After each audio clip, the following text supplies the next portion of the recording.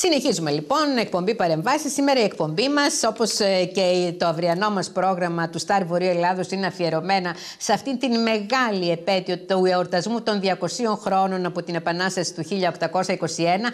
Και τηλεφωνικά έχουμε τη χαρά να φιλοξενούμε την κυρία Μελίνα Μποτέλη. Δεν χρειάζεται να σας συστήσω. Είναι η Μελίνα η δική μας, αλλά είναι και η Μελίνα Μποτέλη, ένας, ε, μια καλλιτέχνης η οποία είναι καταξιωμένη εδώ και χρόνια και σε πολλά είδη θα πω κυρία Μποτέλη, καλησπερίζοντά σας. Καλησπέρα σας, καλώς ήρθατε. Καλησπέρα σας, καλησπέρα και σε όλους τους τηλεθεατές σας. Εξαιτίας της πανδημίας, ε, καιρό έχουμε και να βρεθούμε στα έξω μας και οπουδήποτε αλλού. Αλλά σήμερα χαιρόμαστε γιατί ε, θα ζήσουμε με την δική σας ε, πρωτοβουλία και συνεργασία. Θα χαρούμε μία παραγωγή, η οποία. Για δώστε μας λίγο έτσι το πλαίσιο, δώστε μας λίγο τι ναι, θα μπορέσουμε να δούμε. Είναι μία παραγωγή ναι. της χριστιανικής φοιτητικής δράσης Θεσσαλονίκης ε, όπου τα κείμενα έχει γράψει ο φιλόλογος και θεολόγος καθηγητής κύριος Μάριος Δουμουκτζής. Το, το, το βίντεο το έχει κατασκευάσει ο καθηγητής πληροφορικής και μεγάλος μας ε, γιος Ραφαήλ Τζίμας και εγώ έχω το μέρος της αφήγησης. Μάλιστα.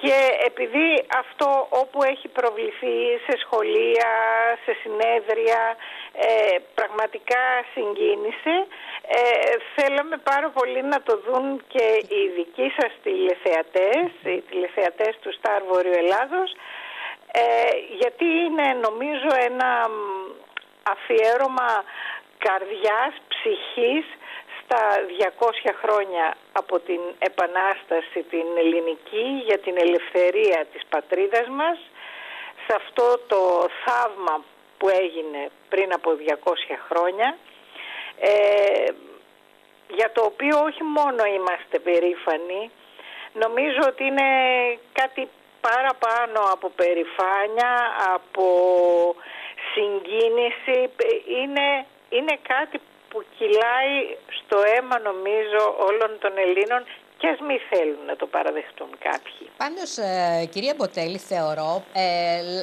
παίρνοντας αφορμή τη τελευταία σας ε, «ας μην θέλουν» φράση, «ας μην θέλουν να το παραδεχτούν κάτι», είναι στο χέρι. Και ημών και ημών και με ήττα και με ύψιλον και του καλλιτεχνικού κόσμου και των ανθρώπων των γραμμάτων και τεχνών γενικώ και των εκπαιδευτικών και γενικά της μεγάλης αυτής κοινότητάς μας να κάνουν και αυτούς που δεν θέλουν να το παραδεχθούν, ίσως γιατί δεν το ξέρουν, να εντρυφήσουν σε αυτό το μεγαλείο της ελληνικής ψυχής, κυρία Μποτέλη. Γιατί θεωρώ, προσωπική μου άποψη φυσικά, ότι είναι μοναδικό ανά τον κόσμο ως ε, γεγονός, ως συμβάν και ως εξέλιξη. Βέβαια, γιατί ακριβώς ε, ήταν ε, μια μικρή δύναμη, αλλά με πολύ μεγάλη δύναμη ψυχής, ενάντια σε μια, σε μια υπερδύναμη εκείνης της εποχής, σε μια αυτοκρατορία.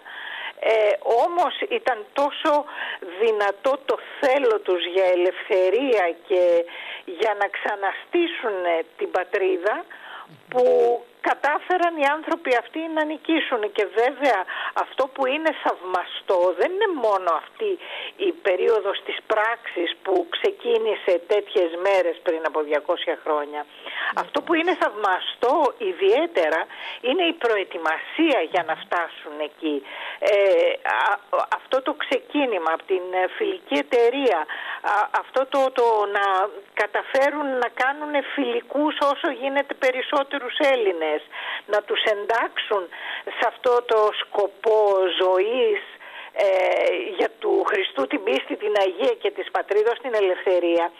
Ε, αυτό νομίζω ότι ήταν ακόμα πιο θαυμαστό από την πράξη. Η προετοιμασία, η στρατηγική, η, το να μαζέψουν τα όπλα, να μαζέψουν τις σφαίρες, ε, δηλαδή είναι, είναι καταπληκτικό το πώς κάθε τόπος της Ελλάδας συμμετείχε σε αυτή την ιστορία. Ναι, γιατί εκεί συμμετείχαν από διάφορες οικονομικές, κοινωνικές, ε, πνευματικές τάξεις, έτσι. Δεν είναι εύκολο αυτό το, να υπάρξει, ας πούμε, μία ένωση όλων αυτών των πολύ διαφορετικών κόσμων, πρέπει να πούμε, με τον απλό λαό, ο οποίος στερεί το και μόρφωση, στερεί το και χρημάτων και δυνατοτήτων. πολλά πράγματα. Και μάλιστα άκουγα πρόσφατα μία ε, συνέντευξη του μεγάλου καθηγητή του Ζερεφού που έλεγε ότι εκείνη τη χρονιά ειδικά ε, λόγω των καιρικών συνθήκων υπήρχε και πολύ μεγάλη πείνα και ίσως αυτό το πράγμα ήταν που έδωσε ακόμα μεγαλύτερη δύναμη στους Έλληνες να, να, διεκδικήσουν. να διεκδικήσουν την ελευθερία τους και τη ζωή τους. Κυρία Ποτέλη, ε, παραμένετε στο ακουστικό σας και μαζί με τους φίλους τηλεθεατές θα παρακολουθήσουμε με σιωπή, ε, με φωνή ηχθείως από μεριάς μου τουλάχιστον αυτό εδώ το ε, που μας προσφέρετε στο Star Βορείου Λάδος και σε όλους μας και μετά φυσικά θα κάνουμε ένα μικρό σχόλιο. Παρακολουθούμε. Ωραία, ωραία. Ευχαριστώ. Ναι, ναι, ναι. Απ' τον προγόνων το κρασί. Ήταν τη τρέλα η καιρή, παράξενη. Ξάφνου σμίξαν στις άνοιξες τα γέρη τα μοίρα των ανθών και τον παρούτι των κλεφτών. Στον αχέρι το σπαθί και στάλο το ντουφέκι βάλαν σημάδι τον καιρό και αντιλαλήσαν τα ρουμάνια και οι κορφές απ' τη βροντή της φλογισμένης τους ψυχής. Προκάλεσαν το θάνατο, δείξαν στο χάρο το σπαθί, τον κάλεσαν μύριγες φορές να ξαναβγεί στα μαρμαρένια λόνια. Ήταν η πόθη κρυφή, ήταν η μαύρη στεναγμή, αίμα των δεκατέσσερων γενιών στα τετρακόσια χρόνια. Δεν την ψηφίσαν τη ζωή, είπαν μέχρι εδώ. Κάλιο μιας ώρας λευτεριά και θάνατος παρά σαράντα χρόνια στη σκλαβιάς τα αιματόβρεχτα δεσμά. Κι ήταν μονάχοι. Κλειστές οι πόρτες που χτυπούσαν τόσο καιρό, μήπως και κάποιον βρουν να τους σταθεί, να δώσει χέρι που βοηθεί. Πικροί πήραν το δρόμο μοναχοί και μοναχοί ξανάρθαν.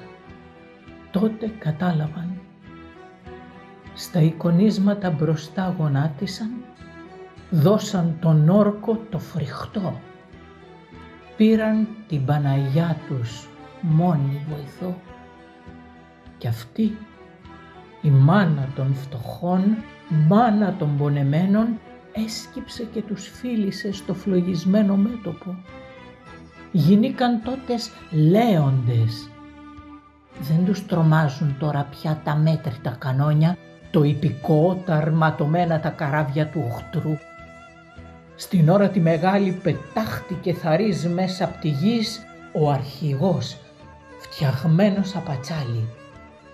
Κι ήταν βροντί ο λόγος του, κι ήταν η σκέψη του φωτιά, ακλόνητη η πίστη της καρδιάς του. Σαν υπογράφει ο Θεός, νικέται ο κόσμος όλος πίσω η υπογραφή του δεν γυρνά. Πιστοί από την Άγια Λάβρα ατρόμητη πήραν τις πόλεις, τα χωριά, τους κάμπους, τα βουνά, τα κάστρα, τσακίσανε το φίδι στο κεφάλι μέσα στο κέντρο του οχτρού την ξακουστή τριπολιτσά, σε κάθε τόπο και σεισμός. Και απλώσαν τη φωτιά απ' άκρη σ' στο Μοριά στη Ρούμελη, στους κάμπους τους Θεσσαλικούς, στην Ήπειρο, τη Θράκη. Και ψηλά στα Αλέξανδρου τη χώρα, τη Μακεδονία, στα νησιά. Πέρασαν μέρες φοβερές. Είδαν να λάμπει στη φωτιά το Μεσολόγγι. Το να φτάνει στα άστρα του ουρανού. Είδαν τη να πνίγεται στο αίμα στάχτη και κάρβουνο τα μαύρα τα ψαρά. Είδαν.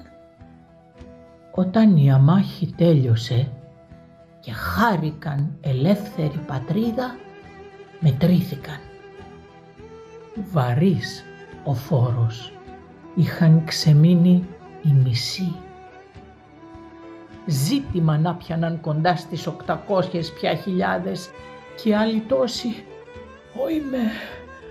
Παιδιά, μανάδες και αδερφοί ήταν χωμένοι μες στη γη κι άλλοι στουπέλαου την αρμύρα κι άλλη τροφή των κορακιών μες στα φαράγγια των βουνών. Ω ναι, βαρύς ο φόρος του καλού. Είχαν ποτίσει αχόρταγη την ξεραμένη γη με δάκρυα, με αίμα. Όμως είχε δοθεί εκδίκηση στα όνειρα αιώνα. Μπορούσαν τώρα όρθιοι να περπατούν μες στα στενά, να ξανανοίγουν τα σχολιά για τα παιδιά, να ξαναφτιάχνουν χαλασμένες εκκλησιές, σπίτια με φως και όνειρο. Μπορούσαν. Σκύψαν, φιλήσαν με χαρά τη γης, πήραν να σπέρνουν τα χωράφια της δίχως το φόβο των οχτρών, τα δέντρα να ανασταίνουν. Δύσκολα διάβηκαν τα χρόνια. Πάντα με το ένα χέρι στο σπαθί και τ' άλλο στο ντουφέκι, πόνος και δάκρυο δρόμος τους, πομάχη σ' άλλη μάχη, μακρύ της ανηφόρας στο στρατή, μέχρι να δουν και τα άλλα αδέρφια τους της λευτεριάς, τη γαλανόλευκη θωριά, μέχρι και χθες. Τώρα 200 χρόνια από τη φωτιά που φώτισε τον κόσμο αναμετρούνται πάλι τα τρισεγγόνια των παιδιών τους με τον αχόρταγο οχτρό. Σκίζουν τους ουρανούς ατρόμητοι αητοί με τα φτερά τσάλινα και την ψυχή πυρφόρα.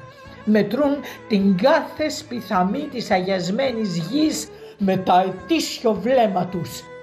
Γλυκοφιλούν τις εκκλησιές της διώχνουν στα βάθη της Ασίας τους Περσιάνους κι όπου γαλαζαστράφτουν τα νερά αντριεύονται οι θαλασσόλικοι στα κύματα από την Κρήτη κι ως τη Ρο και ως τη Σαμοθράκη, αόρατοι, βυθίζονται στα βάθη με τα δελφίνια συντροφιά και πάνω στου Εύρου τη γραμμή κρατούν το χώμα αμόλυντο νυχθημερής. Μπροστά τους σελαγίζουν όλες αθάνατες μορφές. Καραϊσκάκης, Μπότσαρης, Ανδρούτσος, Διάκος και Νικηταράς κι άλλοι. Και από τη θάλασσα τους χαιρετούν κανάριδες, πιπίνι και ο Μιαούλης κι Μαντώ. Α, η Μαντώ. Και μπουμπουλίνες γοργόνες του φλεγόμενου πελάγου κι αν κάποια μόνο μια στιγμή βρεθεί η καρδιά τους να πορεί, βλέπουν ξανά μπροστά τους του γέρου την ολόφωτη μορφή να στρέφει τη ματιά τους στην Παναγιά και τον ακούν και πάλι να βροντάει. «Ομπρός, ωραία!» Ορθή, ωραίοι, μυθικοί πως γαλαζοβολούν κάθε στιγμή με φως τη Θεία Ελλάδα. Και αυτή η Ελλάδα τους αγαπημένη του ουρανού, ηλιόλαμπρη, απλώνει γαλανόλευκη το χέρι της μαλαματένιο σε σιγή ιερή. Πιείτε απ' των προγόνων το κρασί.